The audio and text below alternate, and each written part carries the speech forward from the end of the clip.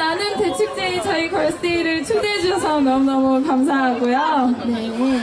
어, 여러분들도 나눌 것들이 되게 많잖아요. 뭐 마음을 나눌 수도 있고 사랑을 그죠. 나눌 수도 있고. 네 항상 나누는 하루하루 되시기를 저희 걸스데이가 네 응원하겠습니다. 들으셨던 곡은요? 네, 저희 리패키지 앨범에 있던 여자, 여자 대통령 들려드렸고요. 어,